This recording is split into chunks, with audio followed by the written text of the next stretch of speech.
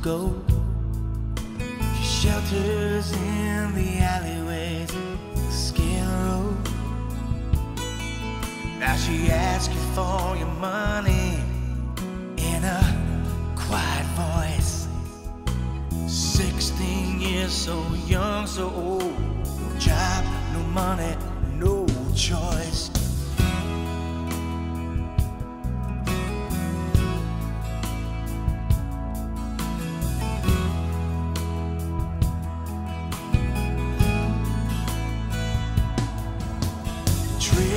Of broken treaties, figures in the snow. Nation's hope lay shattered